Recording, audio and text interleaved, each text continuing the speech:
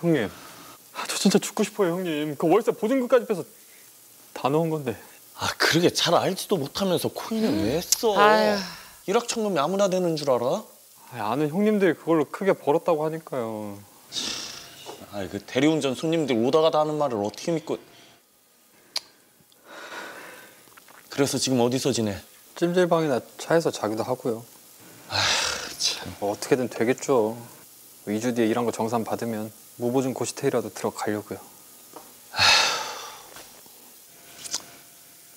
아 그럼 그때까지 우리 집 와서 지내든가. 예? 차영이 누나가 싫어할 텐데. 얌마 하나뿐인 육촌 동생이 찜질방 전전한다는데 싫다고 하는 게 말이 돼? 그리고 네가 우리 가게 와서 종종 도와줬잖아.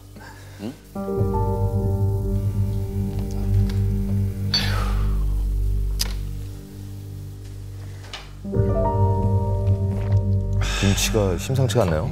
아까 그리고 왔을 때 그 부인이 싫어했단 말이야. 또 왔냐? 와 섭섭하다. 자주 보면 좋지 뭘 그래. 또 왔냐? 둘 사이 뭐가 있는 것 같은데.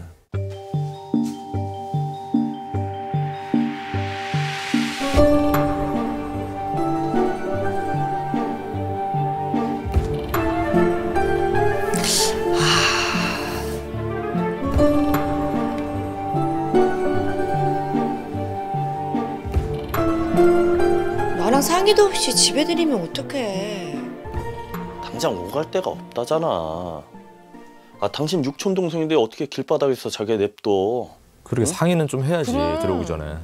아니 그렇긴 한데 아, 미리 얘기를 해야지. 집도 안 치웠는데. 아 가족끼리 뭐 어때? 아 2주 뒤에 고시방 구해서 나간다니까. 너무 싫은 티 내지 마. 아 쟤는 얼마나 민망하고 미안하겠어. 음. 그땐 그저 육촌지간에 서로 왕래한 지도 얼마 안 된 사이라 난색하는 거라 생각했었죠. 아. 들어와. 와, 방 크네 형님. 아 그러고 보니까 우리 집에 온 거 처음이구나. 그쵸. 아 근데 뭐 방에 이렇게 애기용품이 많아요? 어. 언니 여기 애기방 하려고 했었는데. 뭐? 애기방. 아 형님 또 꿀꿀하게 그러신다. 아그 무정자 아. 아니 뭐 그게 형님 탓입니까? 그 환경 호르몬, 스트레스. 아 뭐 그런 탓도 그다더만. 아뭐 차영이도 말은 그렇게 하는데 항상 미안하지. 나 때문에 애도 못 갖고. 아이고. 형님 힘내세요. 안 나가? 어 가야지. 이따 저녁 먹고 싶으면 가게로 와. 네, 다녀오세요.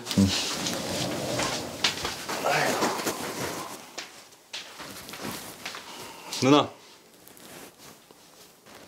걱정하지 말라고. 얌전히 있을게. 당연하지.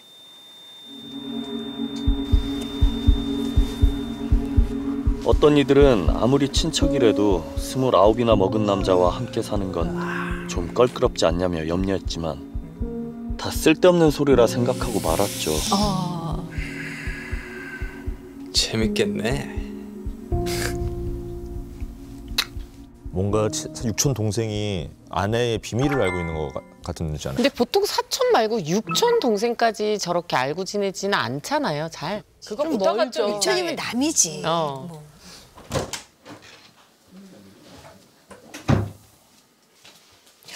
어머, 어머. 오, 쏘리.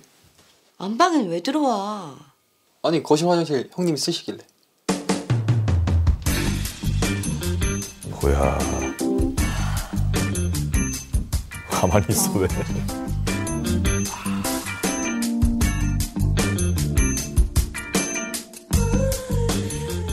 육촌 누나의 몸을 저렇게 보면 미친 거죠, 저거. 진짜.